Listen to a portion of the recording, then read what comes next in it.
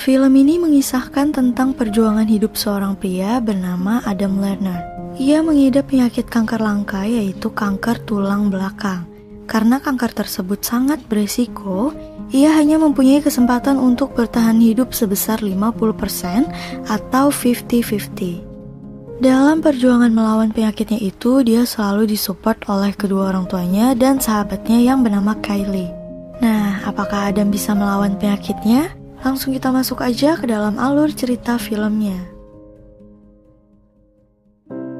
Film ini dimulai saat seorang pria muda bernama Adam dan pacarnya yang bernama Rachel di pagi yang sama, sahabatnya Adam ini yang bernama Kaylee datang menjemputnya untuk bekerja.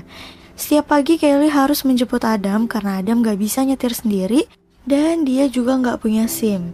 Di awal film ini, Kaylee terlihat gak begitu suka sama Rachel karena si Adam itu menurut Kaylee, dia tuh gak dapet keuntungan apa pun dari gadis itu. Sementara Rachel ini hampir bertahun-tahun tinggal di rumahnya Adam. Pada saat membeli kopi, Adam pun mengeluhkan sakit di bagian punggungnya dan berencana menemui dokter di hari yang sama. Setelah selesai bekerja, Adam pun pergi ke rumah sakit untuk memeriksa sakit di bagian punggungnya itu. Awalnya Adam mengira kalau itu hanyalah sakit biasa, namun tanpa diduga, ia menderita tumor ganas. Adam pun kaget setelah mendengar penjelasan sang dokter. Ia masih gak percaya dengan hal tersebut. Namun pada saat yang sama, ia juga terlihat tidak dapat melihat dan mendengarkan apa yang dijelaskan dokter itu. Sejak saat itu, Adam yang tadinya ceria, kini ia selalu murung. Bahkan ia mencari tahu tentang penyakit yang dideritanya itu. Kemungkinan seorang penderita kanker itu untuk selamat dari tumor tersebut hanya 50% aja. Ia pun segera pulang dan bertemu dengan Rachel.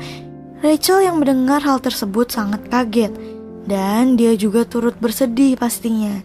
Pada saat yang sama, ada memintanya untuk pergi, tapi Rachel berjanji untuk selalu menemaninya. Nah, nggak cuma memberitahu Rachel, Adam pun memberitahu Kelly tentang penyakit yang dideritanya itu. Sama seperti dirinya, Kelly sama sekali nggak percaya dengan hal itu. Bahkan Kelly meminta Adam untuk menunjukkan foto letak tumor yang berada di tubuhnya. Setelah memberitahu keduanya, kini Adam pun memberitahu kedua orang tuanya. Sontak ibunya kaget dan gak percaya sama hal itu. Ibunya mencoba mengalihkan perhatian dan meninggalkan mereka. Namun Adam tetap meminta ibunya untuk tenang. Awalnya sang ibu meminta untuk tinggal bersama putranya itu, namun Adam menolak dan Rachel juga berjanji akan mengurusnya. Setelah memberitahu semua keluarganya, Adam pun mulai melakukan pengobatan dengan menemui psikiater.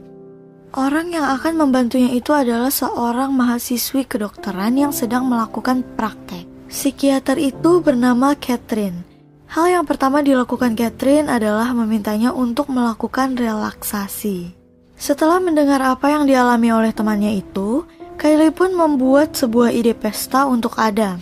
Ia mengundang semua teman mereka untuk datang ke pesta itu. Pada saat yang sama, ada banyak orang yang terlihat sangat bersimpati kepada Adam. Seolah-olah mereka nggak akan bertemu lagi dengannya. Keesokan harinya, Rachel pun menepati janjinya untuk mengantarkan Adam kembali ke rumah sakit. Hari itu adalah hari pertama Adam melakukan kemoterapi.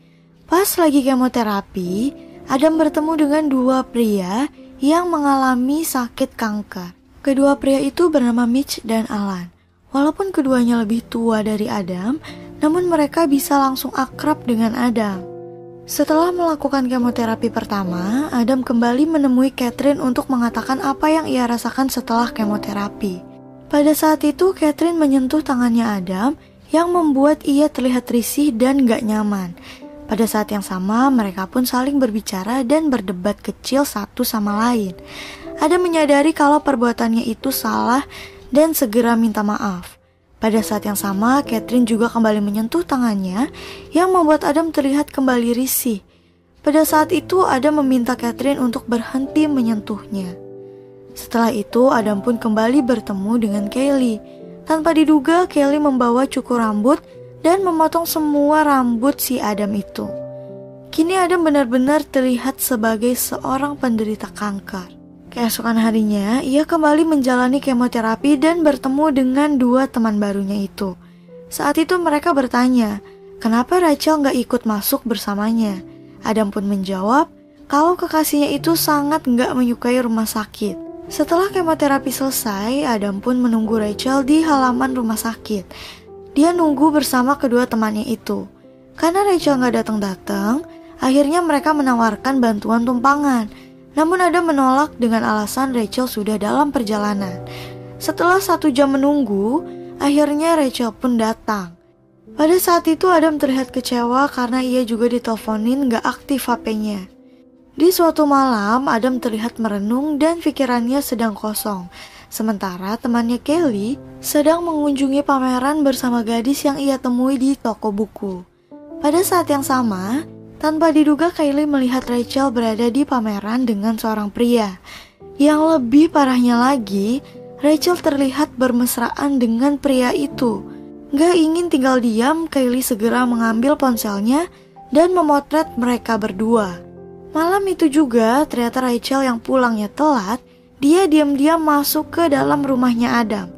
Namun, Adam yang tadinya tertidur di ruang tamu, terbangun seketika mendengar Rachel yang sudah kembali.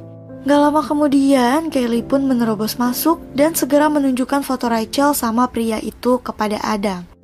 Awalnya semuanya terdiam dan seperti gak terjadi apa-apa. Tapi, Kaylee yang gak bisa diam terus mengompori dan membuat suasana menjadi sangat panas. Di situ Rachel mencoba membela dirinya. Dia berkata bahwa dia tuh sebenarnya capek harus ngurus laki-laki yang penyakitan kayak Adam. Kata-katanya Rachel sangat menyakiti hati Adam. Ternyata Rachel selama ini baik itu karena dia cuma mau numpang tempat tinggal gratis di rumahnya Adam.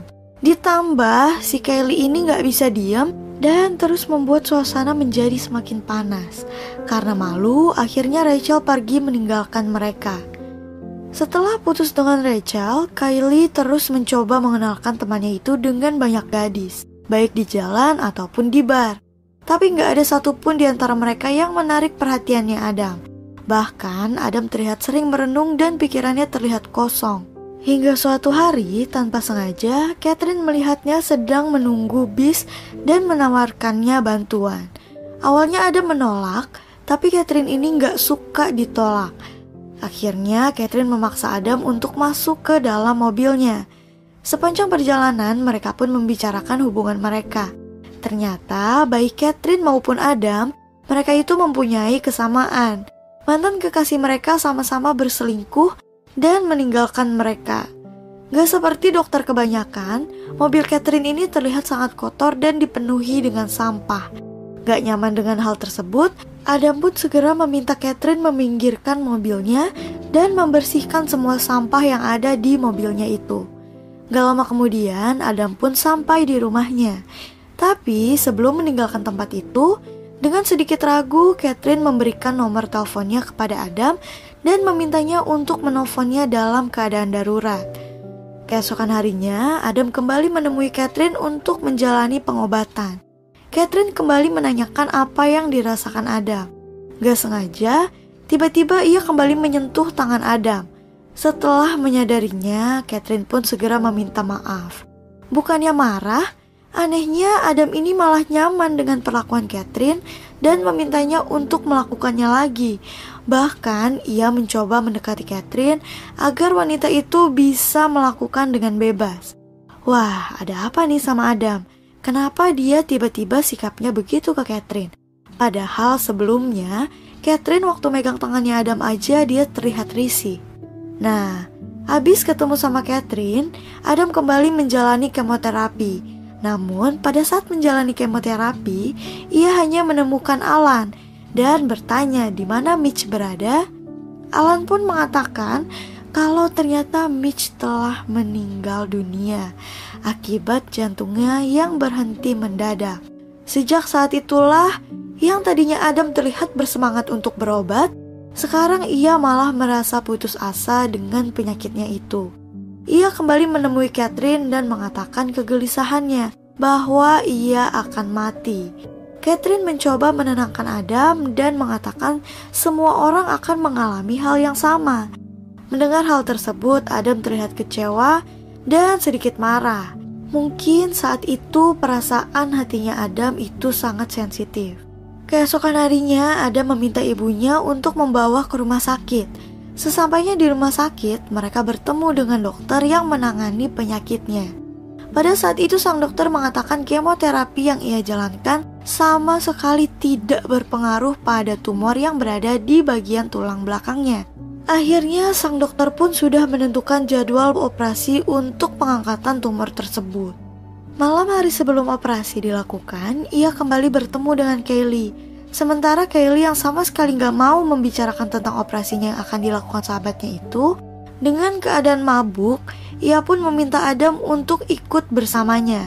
Namun pada saat itu Adam tiba-tiba minta kunci mobil dan membiarkannya nyetir. Tanpa diduga, Adam kehilangan kendali dan menyetir mobil sembarangan. Kelly yang panik akhirnya memintanya untuk berhenti. Tanpa diduga, Adam meminta Kelly untuk segera turun dari mobil dan ia berteriak di dalam mobil itu. Adam seperti orang yang kehilangan kendali akibat semua yang ia alami. Gak lama kemudian ia pun akhirnya memutuskan untuk menelpon Catherine dan meminta maaf atas apa yang ia lakukan. Adam juga memberitahu bahwa besok hari ia akan menjalani operasi. Gak sampai di situ aja, Adam menanyakan perasaannya pada Catherine. Awalnya Catherine ragu karena menurutnya ia bukan seorang kekasih yang baik. Namun Adam mencoba meyakinkannya. Akhirnya Catherine dan Adam pun menjadi kekasih di malam itu. Setelah itu ia pun membawa Kelly pulang ke rumahnya. Sesampainya di rumah, ia melihat sebuah buku yang baru saja dibaca oleh sahabatnya itu. Buku tersebut berjudul Facing Cancer Together. Setelah itu, Adam keluar menikmati suasana malam yang seolah-olah malam itu adalah malam terakhirnya. Keesokan harinya, Kelly pun mengantarkan Adam di rumah sakit. Mereka berjanji akan bertemu sesudahnya. Kemudian ia pun segera bersiap untuk menjalani operasi. Namun, sebelumnya ia juga harus menandatangani perjanjian donor organ jika seandainya operasi tersebut gagal dilakukan. Setelah itu, anestesi pun disuntikkan. Pada saat yang sama, Adam terlihat sangat ketakutan dan meyakinkan ibunya bahwa ia akan bangun kembali. Gak lama setelah itu, seorang perawat membawanya ke ruang operasi dan operasi pun segera dilakukan. Ketika operasi sedang berjalan, Kelly dan kedua orang tuanya Adam menunggu di ruang tunggu. Namun setelah lima jam, mereka masih belum menerima kabar. Gak lama setelah itu, akhirnya Catherine pun datang.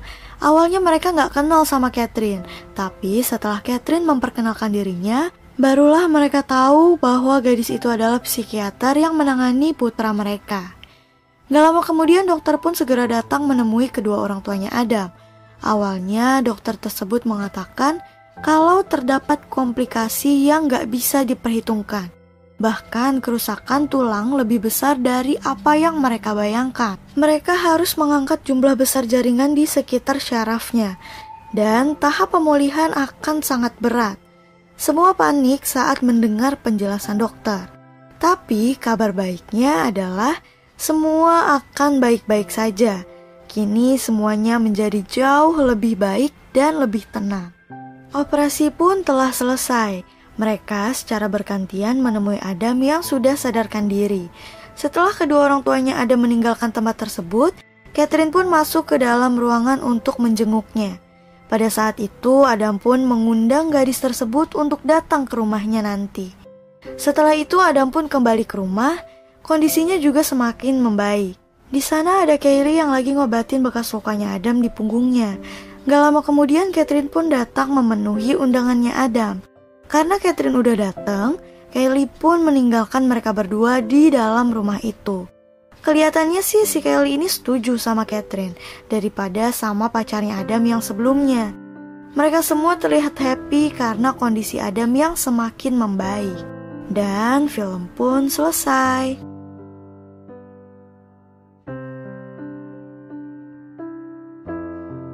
Mohon maaf apabila ada kekurangan dalam video ini. Terima kasih.